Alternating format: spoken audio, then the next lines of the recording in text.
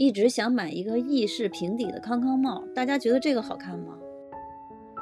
现在去平安集市的路上，大家看一下捂得倍儿严实，因为前两天太阳太足了，中午的时候出去散步，然后把脖子后边都晒伤了。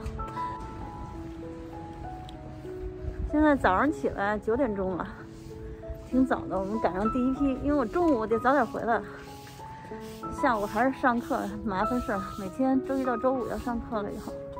感觉特别快哈，好像这一个月又到了。二十六号，上个月二十六号刚完事儿，今天十号就到了。这车站这块儿有个购物中心，平时我们买东西都在这儿，方便的，无印良品、优衣库，然后两个大超市都在这儿，离我们家大概步行有六七分钟。五月十号的平安古董集市到了，很多摊位已经摆好了。我们今天从这边开始逛吧。我们上一次这边都没过来，待了半天。哎，这不帽子吗，多姐？这是我想要的吗？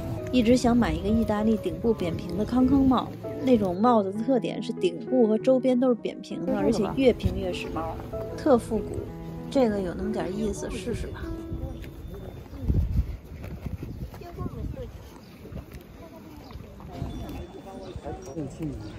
嗯。这好像一吹一刮风就吹跑，是不是缺一个黑框？不用了，黑的那个丝带。好像还有卖冒轩的人。买这个吧，还挺好看的哈。最后没买，就是有点大，价钱大家猜猜？特别便宜。对，我也觉得是，但型不错，才一千块钱，就是人民币不到六十块钱。今天天气不错，不冷不热的，逛起来很舒服。这儿开钟表店的，缺零件的。嗯。嗯。太丰富了。这还有一个这个，这个好玩吧？你看这里边的表的盒子什么的。对。表名字。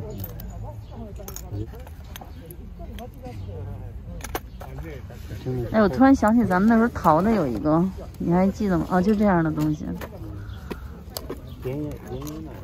嗯。多逗。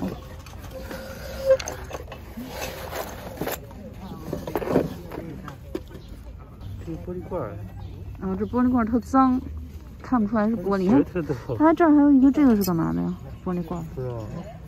有这么一个东西。脏啊，这其实挺好看的。嗯。这样可以往里灌水还是打气？最近多姐喜欢烘焙，准备买个这个当点心炉子。这个有两个，应该有两个扣在一起的。不是，这是那个。哦，这前面那个。我觉得像那种。你挑一个好看的。绿豆糕啊，什么？我觉得没有好看，买一个老的。上次你忘了在那个。东四看那老的多好。真的不好看啊！这是老的，一般。这多抽象啊！我我觉得不好看，不如那个传统的那种花纹。我不喜欢传统。啊？哎，这个多好看，荷花的，还小，这个好看。那这个吧，觉得一般。咱们再转一圈，看看有更好看的？倒模怎么倒不懂？你没玩过这个？你就把那个面塞进去不行？那它不是粘住了吗？抹油啊，抹上油就好了。对，我觉得啊，我也不知道，要不然回去了解一下，回再找找其他的地方。别的木质是那种硬木。嗯，对对对，找个硬木的吧，要不然。嗯。不是，我说这个树枝做的这个多好看。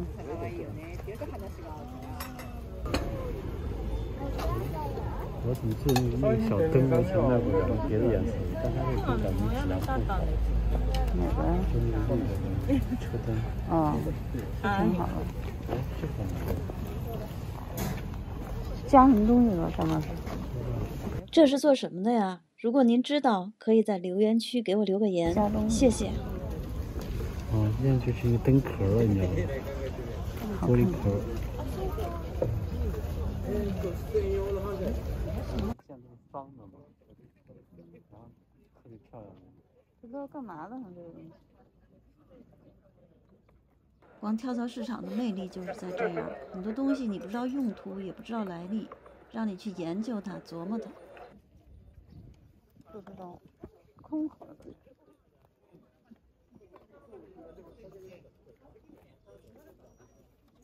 先切了一半。点心太厚了。可以做蛋糕，小蛋糕可以要这个，那就走吧。直接从这边看好吗？那不看了，二手厨具不看了。跟来晚了，因为又是只能光半天的时间，所以要抓紧时间。有些东西该不看就不看。在日本，这种小小的柜子特多，都是以前和食里放东西用的，非常方便，分量很轻，很小巧，容易挪动。还有眼镜盒，好看吗？我想要一个好的、好看眼镜盒，里边有眼镜。你帮。我觉得那种感觉特好，长长长，特别漂亮。破了一块，是，就是这些嗯，做出来的。你看，对，这个好看。这是干嘛的？这是？不知道。哎呀，这挂钩你说要不要？这个挂钩挺特别的，它是铁丝编织的方式，非常别致。可是犹豫了一下，没有买。你看它的边上是这种榫结构，抽屉这个位置，尤其这个位置，也不像是日本的东西。日本的东西很少做这种榫结构的。哎，这好像以前要搁实验器具的，挺好的哈。你看这个，它是这种榫结构。看上面还有个把手。多杰特别喜欢这个有榫结构的小柜子。可是家里柜子太多了，就没买，因为榫结构的小柜子确实太少了。日本的很多都是钉子钉上的。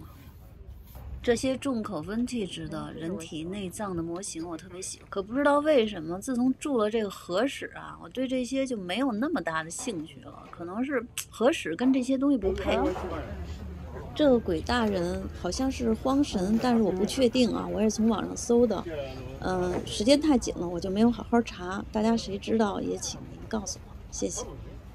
那这灯不动。哎，你看到这打眼的，嗯，看见了。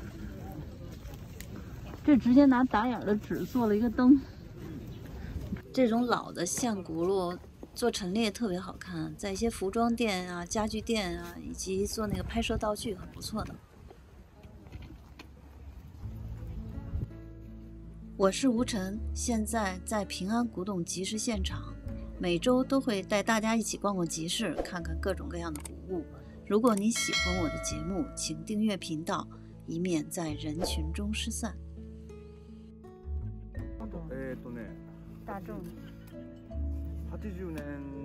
下半场更精彩，欢迎继续收看。